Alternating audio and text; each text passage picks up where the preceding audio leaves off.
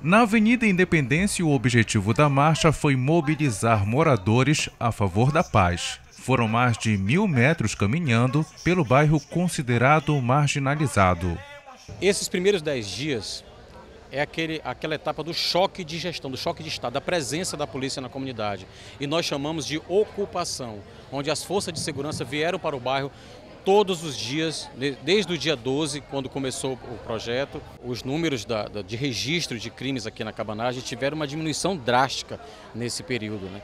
Uma redução significativa no número de roubos latrocínio não houve, estupro não houve. A programação da Polícia Civil faz parte das ações do Territórios pela Paz, programa do governo de combate à violência. O primeiro bairro atendido está sendo o da Cabanagem. Isso aqui tem beneficiado muito a nossa comunidade. Nós só temos a agradecer, porque depois que o Ter Paz entrou aqui, juntamente com a delegada, o delegado Adriano e a delegada Claudilene, isso aqui tem melhorado muito.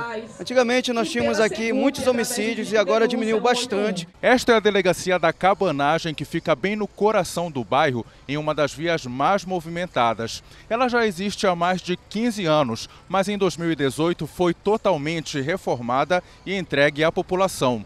Antes, as pessoas só entravam aqui para registrar o boletim de ocorrência quando eram vítimas da criminalidade. Mas agora elas estão entrando para buscar cidadania. Olha o caso da dona Cleia. Hoje ela veio tirar a segunda via da certidão de nascimento, um dos serviços ofertados. Meu sobrinho que me falou, para me tirar profissional.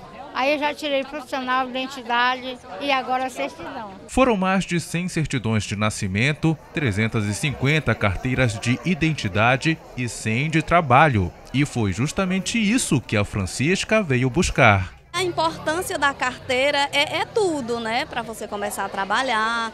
É um documento que está se renovando e a gente não pode ficar sem ele.